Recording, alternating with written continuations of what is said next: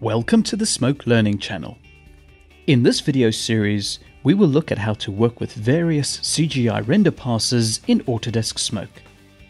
I will take you through a compositing example where you will learn how to composite different render passes on top of a video background.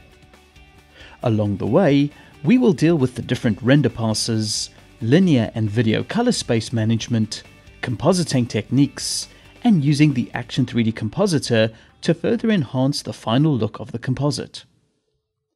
If you wish to follow along with this video series, please click the download link in the YouTube description, or if you are watching the podcast version of these videos, type the link displayed below in your internet browser to download the media for this project. Let's start off by setting up a project, importing the media, and setting up the sequence. In the Startup splash screen, under the project header, click New to create a new project. Let's call this project Render Pass Comping. All the media is 1280 by 720, so set the resolution to 1280 by 720. The video media is 10-bit ProRes, so switch the bit depth resolution to match. This ensures that all default settings match the video media. For the configuration template, ensure the settings is 1920 by 1080 at 23.976. The frame rate of the video media is 23.976, and it will be displayed on a 1080 broadcast monitor if you have one connected to your system. Click Create to create the new project. Ensure your project is chosen in the pull-down menu and press Start to launch Smoke. Now let's import the video media into Smoke. Switch to the Media Hub and navigate to the folder where you have uncompressed the download.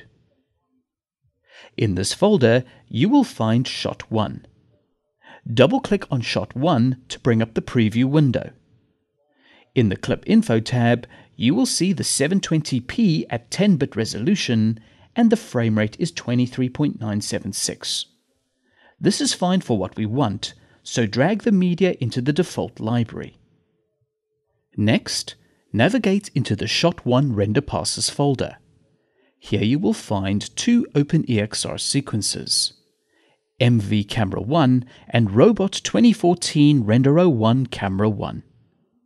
At this point, I should mention that both OpenEXR sequences contain multiple embedded render passes. Some people like to render their passes separately per file, and others like to embed render passes into a single file like these. This choice is yours, and you can still work with the various render passes in the same way. Before we start importing the render passes, go to the default library and create a new folder called Shot1. We are going to have lots of render passes, and this will just keep things a little bit more organized. Select Robot 2014 Render 01 Camera 1 OpenEXR sequence.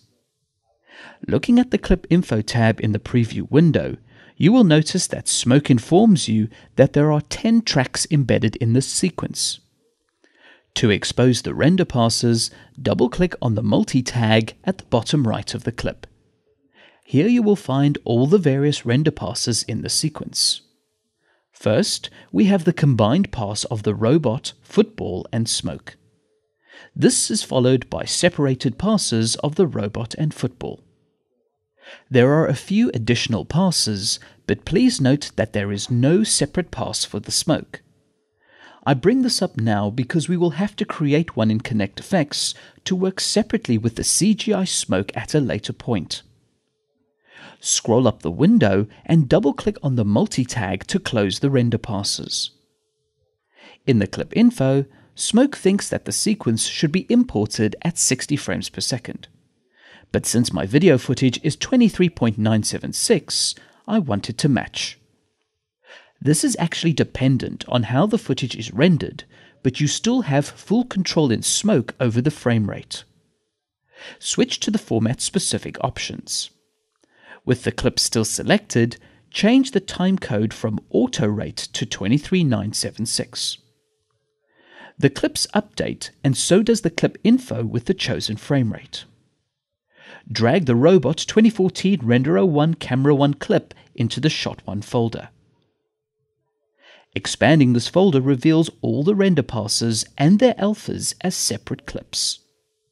I want this all broken out to give me granular control in the composite. Now I have one more render pass to import. Double-click on the multi-tag of the MV Camera 1 clip. This OpenEXR sequence contains three render passes. All I want is the motion vector pass for post-motion blur effects. Just by clicking and dragging a particular render pass into my folder will only import what I want. So you can either import all passes or just the ones you need. That will do for now. Switch to the Timeline tab and let's create the sequence. Press Command N to create a new sequence. Call the sequence Render Passes. Set the resolution to 1280 by 720. Ensure the bit depth is set to 10 bit to match the video media. And the frame rate is 23.976. You don't need audio for this example, so set the audio tracks to no audio. Click Create. Drag and drop shot 1 into the active sequence. Select the segment and press Ctrl Tab to bring up the Effects ribbon. Click Create ConnectFX. We are now in ConnectFX and ready to start compositing the CGI with the background media. In the next video, we will spend time discussing video color space and linear color space because these have dramatic implications on your compositing. All that and more to follow shortly. Thank you for watching and please subscribe to the Smoke Learning channel for future videos.